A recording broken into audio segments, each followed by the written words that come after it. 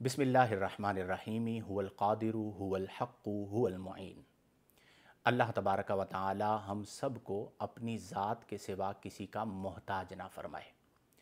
बहुत सारे लोग वसअत रिज़्क़ का वजीफ़ा पूछते हैं कि कोई ऐसा वजीफ़ा बताया जाए जिसकी वजह से हमारा रिस्क वसी हो जाए रिस्क में फ़राखी आ जाए, कसाइश मिल जाए।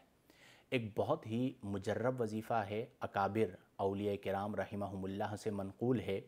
मुजर्रब है, मेरा अपना भी आजमूदा है, आप ये वजीफ़ा कीजिए, इसकी बरक़ात आपको महसूस होंगी, बल्कि नसीब होंगी। वजीफ़ा ये है कि नमाज़ इशा में सुन्नत और वित्र के दरमियान, यानी जो दो सुन्नतें पढ़ी जाती हैं, वो दो सुन्नतें पढ़ लें, और वित्र से पहले आपने सात सौ छियासी मरतबा बिसमिल्लाहिर्रहमानिर्रहीम पढ़ना है, सेवन एट सिक्स टाइम। जब आप सात सौ छियासी बार बिसमिल्लाहिर्रहमानिर्रहीम पढ़ लें, उसके बाद आपने खड़े हो जाना है और खड़े होकर अपने रब की बारगाह में आपने या रब्बी का विरद करना है एक हज़ार मरतबा। और इस वजीफ़े के इब्तदा में ग्यारह बार दुरुद पाक पढ़ना है और इस वजीफ़े के अख्ताम पर भी ग्यारह बार दुरुद पाक पढ़ना है। इन जलील, इस वजीफ़े की बरकत से अल्लाह तबारक व ताली आपको वसअत रिस्क अता फ़रमाएगा। ये कितने दिन करना है तो 21 दिन अपने जहन में रख लें कि कम अज़ कम आप 21 दिन तक ये वजीफ़ा करें। इन जलील, वही रब है जो रिस्क अता फ़रमाने वाली ज़ात है। जब उसे पुकारा जाएगा, समीम कल्ब से पुकारा जाएगा तो वो ज़रूर करम फरमाएगा।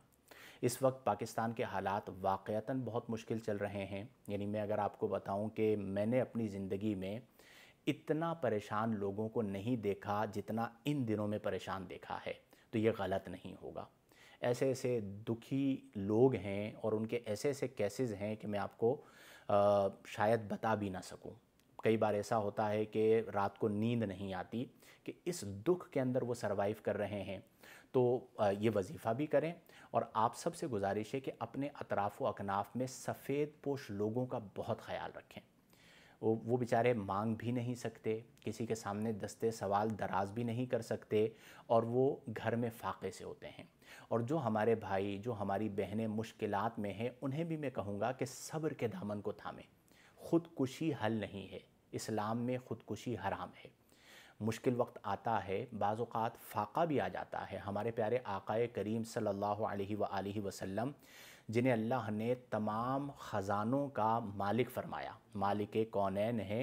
गो पास कुछ रखते नहीं। दो जहाँ की नेमतें हैं उनके खाली हाथ में। उन्होंने भी फ़ाक़े को इख्तियार फरमाया फ़क्र को इख्तियार फरमाया। हज़रत आयशा सिद्दीक़ा रदी अल्लाह तहा बयान करती हैं कि हमारे घर में अक्सर तीन दिन में कोई ना कोई फ़ाक़ा हुआ करता था। तो अगर मुश्किल वक्त आ गया है, सब्र के दामन को थामें, ख़ुदकुशी की तरफ़ ना जाएँ। हम नबी करीम वसल्लम के ग़ुलाम हैं। जब अच्छा वक्त ना रहा तो मुश्किल वक्त भी नहीं रहेगा। अच्छा वक्त इन आएगा। उम्मीद रखनी चाहिए, ना उम्मीद नहीं होना चाहिए। ज़बाँ पर शिकवाए रंजो अलम लाया नहीं करते। नबी के नाम लेवा, गम से घबराया नहीं करते। अल्लाह तबारक व ताली हमें अपनी ज़ात के सिवा किसी का मोहताज ना फरमाए। हम तमाम और तमाम मुसलमानों के ईमान, जान, माल, इज़्ज़त, आबरू की हिफाजत फरमाए। आमीन। बिजाहिन नबीजिल अमीन।